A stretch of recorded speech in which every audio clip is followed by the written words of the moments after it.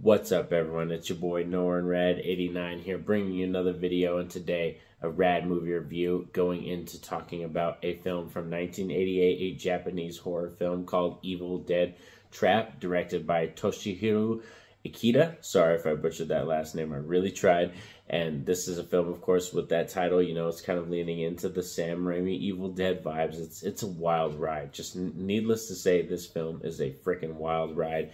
It's a gore fest, and today we're going to talk about the positives, the negatives, then my rating, and then I'm going to send you all home. So let's get into this video.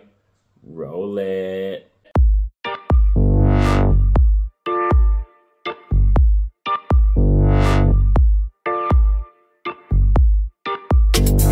Evil Dead Trap is a 1988 Japanese horror film that follows our main character, who is a late night talk show kind of host lady. She hosts, hosts like a late night, you know, all, you know, graveyard shift type, you know, and has to deal with a snuff video that gets sent to her and it interests her like all kinds because she's usually like requests videos that get sent to the station the tv station and stuff like this this is very like old school kind of vhs you know like with the you know all that kind of stuff. And it's like one of those kind of really dark snuff videos that you don't want to see. And the gore effects are wild in this for sure.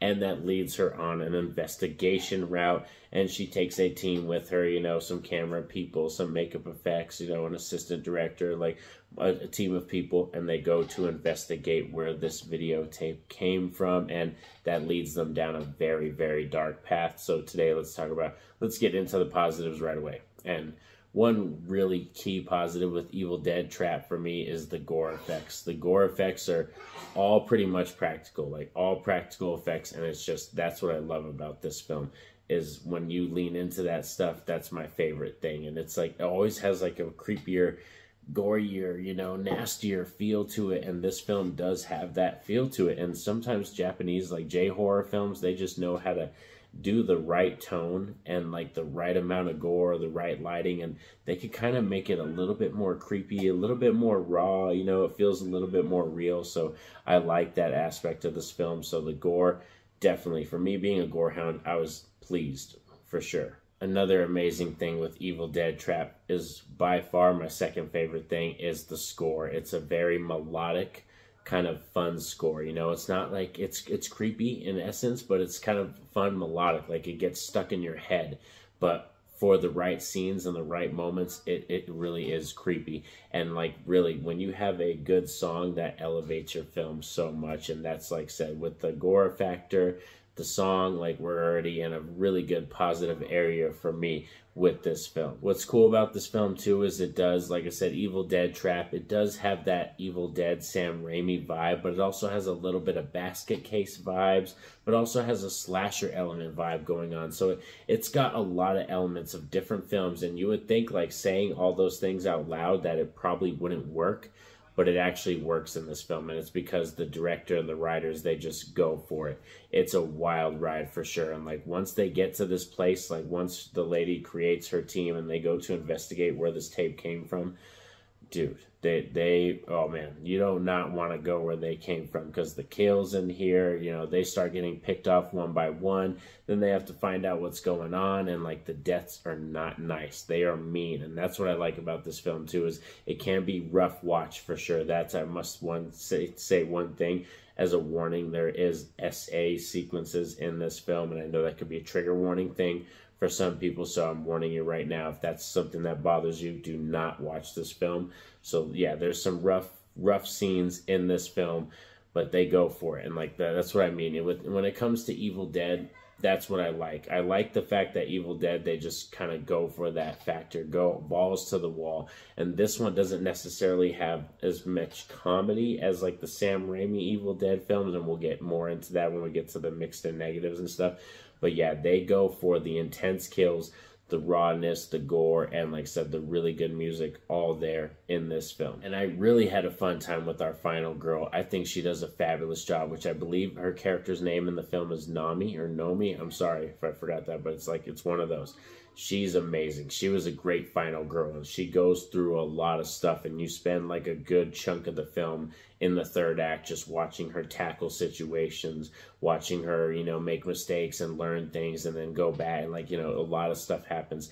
And it's like, you know, kind of remind me of um like you know like Ridley Scott's like Alien, you know, with Ripley or like Sarah Connor with Terminator, the first one, you know, like having them go through so many trials and tribulations and then finally overcoming what was happening. So yeah, this third act and like our final girl, all that stuff, the gore effects, like right up my alley for sure. Another good thing about this film is it has have a twist. I'm not gonna spoil the twist. I'm not gonna say anything, but once it does land and they go for the twist and what is revealed in this film I did not freaking see it coming. I kind of want to spoil it because it's from 1988, but I don't really want to because I want more people to check this out. And it's currently streaming on Shudder, and I believe Epix Epix has this, and Shudder I think are the two places where you can stream this. But I really want some more people to see this. But yeah, there's a certain thing that happens in that third act, and when it's revealed, I was like, dang, I did not expect that.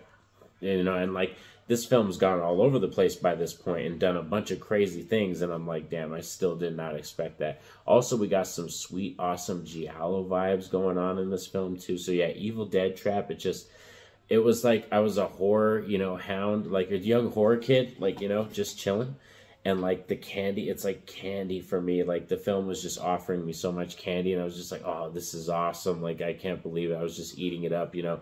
My eyes were glued to the screen. So yeah evil dead trap i had a ton of fun with this film. But let's get into the mixed and negatives right now. And one of the mixed right now and negatives is that the comedy in this film i don't think it really lands. They do go for some comical elements. It does lean more into the serious stuff like once they get into the third act but there's some comical moments in this film and it doesn't really land. And the side characters kind of like are wishy-washy but like you do care for some of them. Like some of them like because of the deaths and what happens you're like damn like you, they didn't really deserve that kind of stuff. But then there's other characters that don't get deaths that are like that badass. You, you, they deserved some more hardcore deaths you know? Like there's certain elements like i said they go really hardcore like very lucio fulci you know, Giallo vibe. So if you know what I'm talking about when I say that as a horror fan, a lot of horror community people will understand that's the kind of gore and the kind of violence you're going to be getting in this film and stuff like that. So, yeah, some weak side characters besides that. Comedy doesn't necessarily land, but overall, in my book, I had a freaking blast with this film for real. Like, I'm just trying to figure out where I was going to settle in at a rating, and I think I'm going to sit at an 8 out of 10 for this film. This is a banger for sure. I think very worthy of having Evil Dead in the title with this film because yeah, I watched was like Evil Dead Trap. Let's see.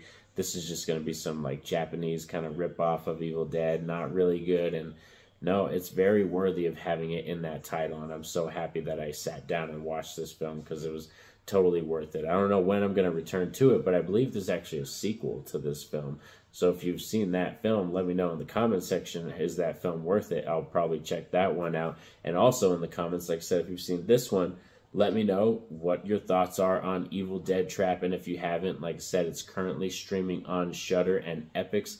That's where you can go check this film out. And yeah, if you're a gore hound and you like, you know, violence and you like crazy, wild, you know, films that take a lot of twists and a lot of turns, and like you don't know what's actually going to happen by the time you get to that third act. A lot of crazy imagery as well. Then this film's right up your alley. But most importantly, be sure to like and subscribe so you don't miss a thing on the channel. And also have a safe and happy day, everyone. Peace out.